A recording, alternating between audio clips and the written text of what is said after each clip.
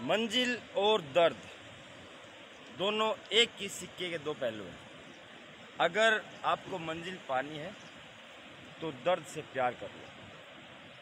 अगर दर्द सहन करने की ताकत मज़बूत करनी है शरीर में तो मंजिल कन्फर्म कर लो, मुझे चाहिए क्या ज़िंदगी में। अगर एक चीज़ आपने तय कर ली और आपको कन्फर्म हो गया कि मेरे जीवन का लक्ष्य क्या है तो दर्द आपके जीवन से गायब हो जाएगा। वो दर्द आपको अच्छा लगने लगेगा। जय हिंद।